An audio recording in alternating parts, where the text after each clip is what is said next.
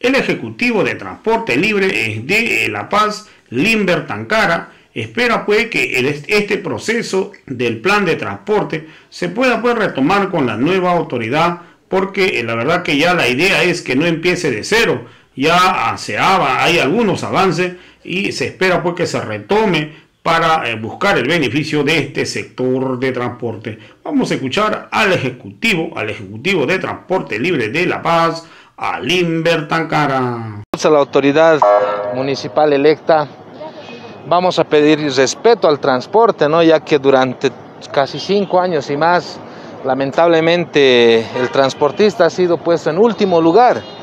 Y bueno, eh, vamos a pedir también que el trabajo que se está realizando con relación a la ley de transportes, que está en este momento en la asamblea, en este caso, para ser aprobado por los concejales, también vaya en curso, que no se que no se entre, que no se entorpezca ese, tipo de negociaciones, esos consensos que han sido realizados por los diferentes operadores urbanos. Y bueno, vamos a pedir ese respeto a los compañeros que ahora van a asumir el, como autoridades. También algo muy importante. Eh, la ley, en este caso del régimen sancionatorio, que estaba sufriendo alguna modificación, ya que existía doble sanción dentro de La Paz, uno por la autoridad municipal y otra por tránsito, tiene que ser revisada. Nosotros como Transporte Libre hemos hecho 36 observaciones a los 48 artículos que existía y bueno, esperemos que en esta ocasión la autoridad municipal se ponga la mano en el pecho, podamos trabajar en conjunto y de esa manera sacar soluciones que vayan en beneficio de todos nuestros compañeros que trabajan día a día eh, llevando a la población. Perfecto, ahora qué eh, puntos están eh, todavía, se estaba acordando con esta alcaldía de Luis Revilla, por favor, ¿qué se debería de continuar con esta Lo último, como le había indicado, está ya a puertas de la aprobación la ley de transportes donde hay muchas modificaciones, alargues, creaciones que han sido consensuadas en su momento con los diferentes operadores. Hemos analizado nosotros como transporte libre, por otro lado también los otros operadores, y esperemos que eso durante, si, si no es en esta gestión, que creo que tienen dos meses más, hasta inicios de mayo, en la nueva, los nuevos concejales lo puedan realizar. Repito, siempre y cuando existan los consensos, siempre existan acuerdos entre operadores. Y si no existe eso, vamos a estar como ahorita, ¿no? Eh, nuestros compañeros interprovinciales están eh, con un bloqueo ya que se han dado tarjetas de operación sin consenso. Yo creo que eso no tiene que existir, más al contrario, la autoridad tiene que convocar a los operadores y de esa manera todos poder trabajar de una manera tranquila, sin perjudicar absolutamente a nadie, menos a la población. ¿Cómo evalúa la gestión del señor Luis Villa para el sector Totalmente pésimo. Eh, no por nuestros compañeros que han trabajado en la dirección, ellos sabemos que tienen que cumplir órdenes. No hemos tenido buena relación con, la, con el alcalde, siempre ha menospreciado al transportista. Su objetivo de Luis de Villa ha sido siempre hacer desaparecer al transportista, al transporte tradicional. Y bueno, eh, nosotros no nos hemos dejado, por eso creo que la lucha ha sido constante, por eso creo que nosotros nos hemos reivindicado haciendo respetar nuestros derechos. Por tal razón vamos a pedir que la nueva autoridad municipal no entre en ese sistema, más al contrario, tome en cuenta este gran sector que como transportistas ponemos el el, pecho a las balas para llevar el sustento a nuestras familias. ¿Qué es lo que van a pedir ahora al nuevo alcalde? Repito, eh, hay un trabajo que se ha realizado con relación a la ley de transportes que aún no se ha aprobado por el Consejo Municipal. Vamos a esperar que, que se lo haga porque hay muchas modificaciones, rutas que ya tienen consensos correspondientes y algo muy importante sobre la ley del régimen sancionatorio, que se ha hecho 36 observaciones a los 48 artículos.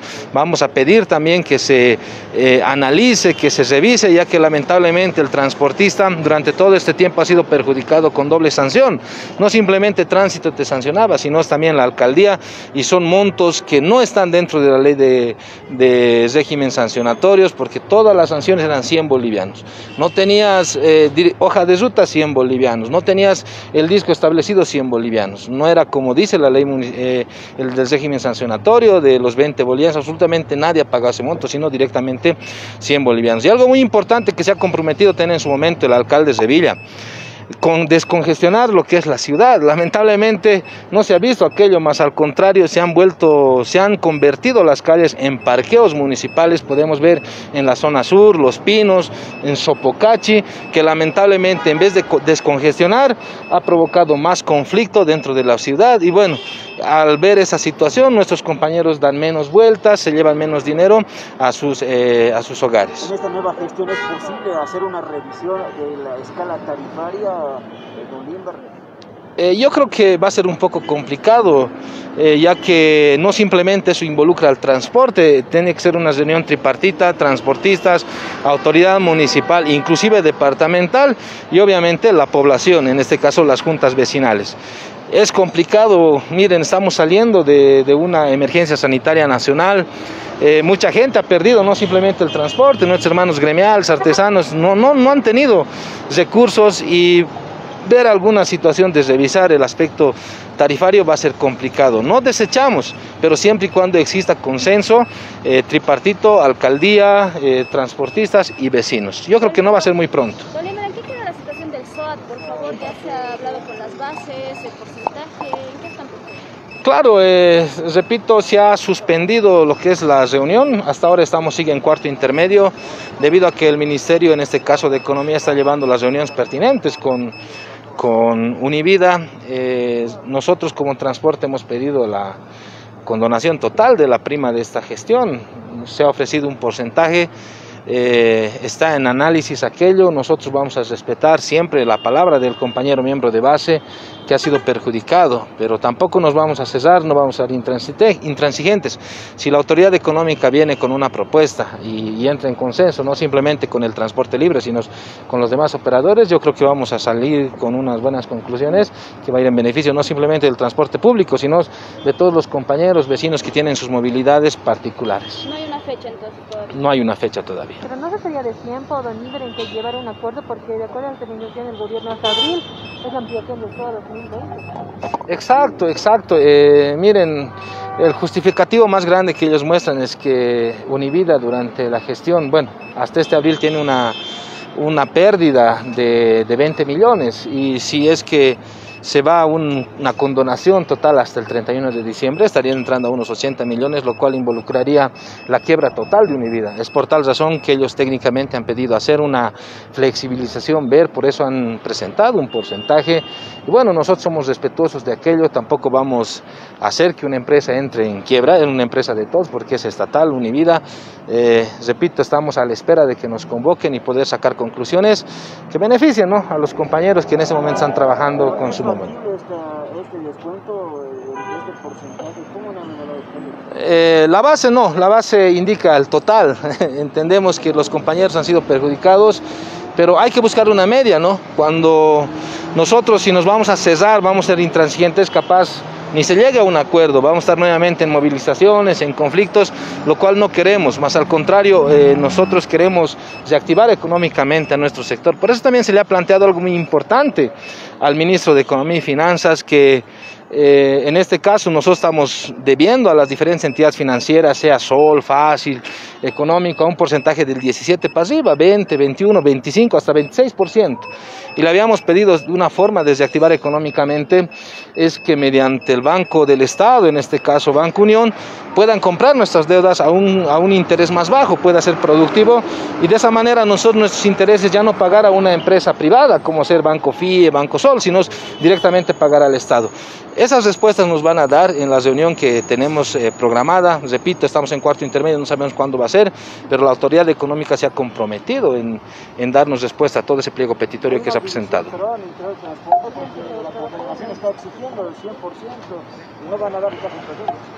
Exacto, exacto, repito, si nosotros...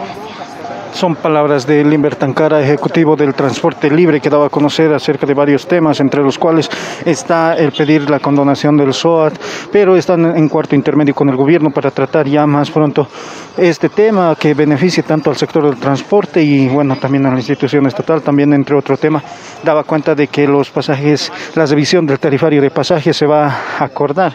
En un consenso, no descartan tal vez que se pueda incrementar pero siempre y cuando este llegue a un consenso entre la población, el gobierno municipal y también el transporte. Este es el informe que se tiene en vivo para COTV de Puerto Wilson Coronel.